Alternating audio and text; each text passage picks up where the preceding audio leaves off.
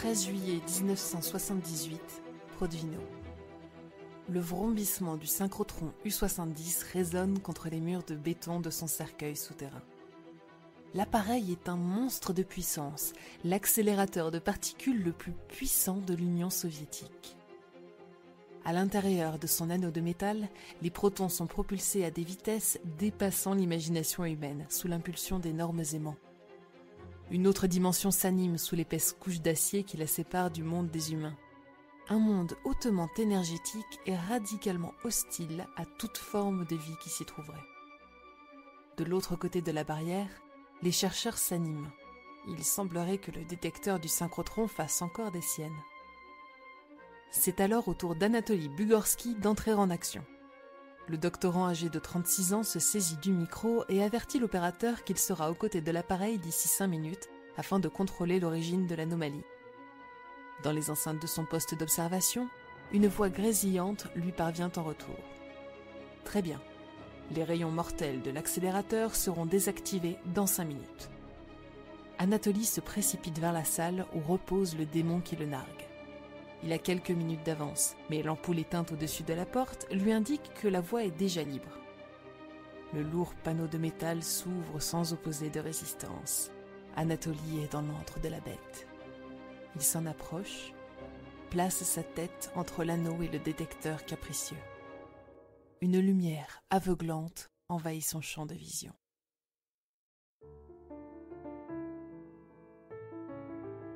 Né le 25 juin 1942 dans l'oblast d'Orel, Anatoly Bugorski est l'une des figures les plus extraordinaires de l'histoire de la médecine et peut-être même de l'histoire de l'humanité tout entière.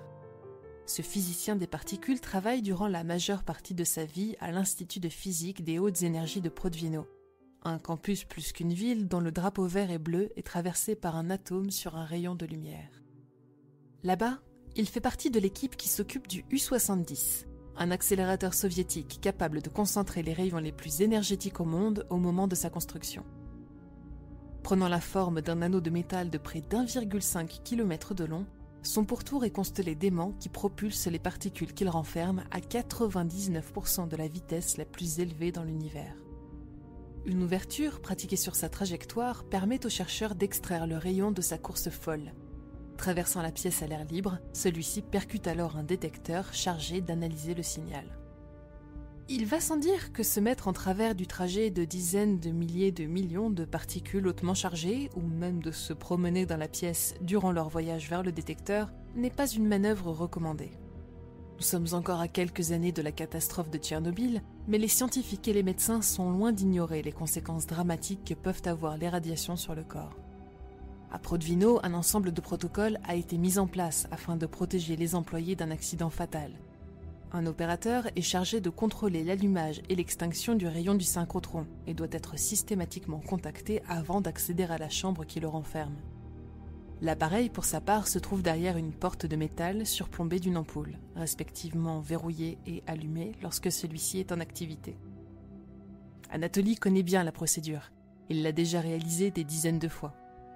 Le 13 juillet 1978, lorsque le détecteur qui leur a donné du fil à retordre dernièrement se détraque à nouveau, il contacte l'opérateur une fois de plus en lui annonçant qu'il sera au niveau de la machine dans 5 minutes. Il est alors loin de se douter qu'un malheureux concours de circonstances est sur le point de changer sa vie. Anatoly s'engage en courant dans le labyrinthe de béton qui mène au synchrotron. Dans son zèle, il arrive devant la porte en avance. Son premier réflexe est de lever les yeux vers l'ampoule éteinte. La voix semble libre. Étrange car il serait prêt à jurer que les cinq minutes ne sont pas encore écoulées. Il tente d'actionner la porte et celle-ci s'ouvre sans difficulté, manifestement déverrouillée. Il entre dans la pièce. L'appareil émet son ronronnement familier.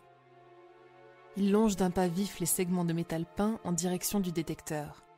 Arrivé à son niveau, il se place entre celui-ci et la section de l'anneau d'où émerge habituellement le flux de protons afin de trouver l'origine du problème. Mais voilà, Anatolie est arrivé en avance, l'ampoule au-dessus de la porte a grillé sans que quiconque ne le remarque. Ses collègues n'ont pas songé à reverrouiller la porte à la fin de l'expérience précédente et le flux de protons est toujours en train de traverser la pièce. Le rayon voyage à près de 300 millions de mètres par seconde à travers la peau du physicien, son crâne, son cerveau et ressort pour atteindre le détecteur d'efficient. Une lumière intense, plus aveuglante qu'un millier de soleils, sature sa rétine. Il recule d'un mouvement brusque, son cœur battant la chamade. Il n'a rien senti, pas de douleur, pas de brûlure, mais il n'est pas dupe. Il a de la chance d'être encore en vie. Et le pire est probablement à venir. Après avoir effectué les manœuvres requises sur le détecteur une fois le rayon désactivé, Anatoly consigne les détails de son travail dans le journal de bord sans faire mention de l'incident. Il rentre chez lui sans avertir ses collègues. Il va se coucher, le ventre tordu par l'inquiétude, en se demandant comment son organisme va réagir à l'irradiation. Et lorsqu'il se réveille après une nuit tourmentée, il trouve la réponse dans son miroir. Son visage est méconnaissable, le côté gauche endolori et sévèrement boursouflé. Le physicien est envoyé d'urgence à l'hôpital numéro 6 du ministère de l'Industrie nucléaire, spécialisé dans ce type de blessures. Sur place, les médecins sont ébahis. Jamais ils n'ont entendu une histoire pareille, et au début, peu de personnes sont prêtes à accorder du crédit au récit d'Anatolie. Mais en quelques jours, une ligne fine et sombre apparaît le long de sa narine gauche, et une petite zone à l'arrière de son crâne se dénude alors que ses cellules meurent et que ses cheveux tombent. La trajectoire suivie par le rayon se lie littéralement sur sa tête. À partir de ces manifestations inédites, les spécialistes concluent qu'un faisceau de 2 à 3 mm a traversé le nez, le lobe temporal et le lobe occipital de leur patient. Ils estiment également que son organisme a été exposé à une dose d'énergie située entre 200 000 et 300 000 rad, soit près de 300 fois la dose létale pour un être humain. Anatolie n'a aucune chance de s'en sortir. C'est déjà un miracle qu'il tienne sur ses deux jambes. Les jours passent la peau située sur la trajectoire du faisceau se nécrose, puis se reforme. Le physicien est parfois affligé de crises d'épilepsie ou de moments d'absence. Il a perdu l'audition dans son oreille gauche, la moitié de son visage est paralysée à vie, et réfléchir lui demande désormais un effort conséquent. Et pourtant, Anatoly finit par retourner à Prodvino où il obtient son doctorat. Sa survie extraordinaire tient à trois facteurs. Pour commencer, il semblerait que le faisceau de l'accélérateur ait été suffisamment focalisé pour suivre une ligne fine et droite et n'attaquer que des zones très localisées situées sur son passage. Second point, aucun élément vital, moelle épinière, glande ou artère, n'a été atteint durant l'exposition au rayonnement. Même s'il ne sera plus jamais vraiment le même homme, la plasticité cérébrale mêlée au travail d'auto-guérison de son corps lui permettent de retrouver la majeure partie de ses capacités cognitives et physiques. Enfin, la troisième chose qui lui a sauvé la vie tient paradoxalement à la puissance du rayon qui lui a traversé la tête. Lorsqu'un faisceau de particules traverse de la matière, il libère le maximum de son énergie juste avant d'être complètement stoppé dans sa course. C'est ce que l'on appelle le pic de Bragg. Ce pic est ce qui nous permet de calibrer la puissance d'un rayon de particules en radiothérapie afin que celui-ci se décharge principalement au lieu de la tumeur.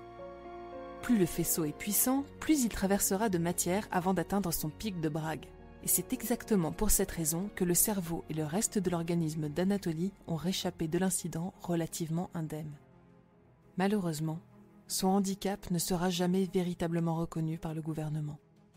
Alors que les victimes de la catastrophe de Tchernobyl sont prises en charge par la mère patrie, le physicien lutte avec une administration kafkaïenne. Il tente de s'expatrier en Europe pour y servir de rat de laboratoire et obtenir en échange le précieux traitement qui lui permet de vivre avec les séquelles laissées par l'incident, mais il ne parvient jamais à quitter le territoire. Il devra payer de sa poche la meilleure partie de ses remèdes contre l'épilepsie et n'obtiendra jamais le statut de victime d'irradiation. Aujourd'hui, plus de 30 ans après le démembrement de l'Union soviétique et du synchrotron U-70, Anatoly Bugorski est toujours en vie et profite d'une retraite bien méritée à l'âge de 79 ans. Son histoire ne sera déclassifiée que dix ans après l'incident pour rejoindre les nombreux témoignages des victimes de Tchernobyl. Un des leurs, mais toujours un cas unique et isolé, il demeure encore aujourd'hui l'homme qui a survécu à l'assaut de mille soleils.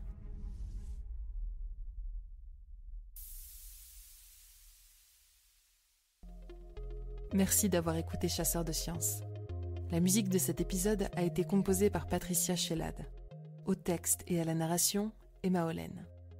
Si vous appréciez notre travail, n'hésitez pas à nous laisser un commentaire et 5 étoiles sur les plateformes de diffusion pour nous soutenir et améliorer notre visibilité. Vous pouvez aussi vous abonner sur Spotify, Deezer, Apple Podcast et bien d'autres pour ne plus manquer un seul épisode.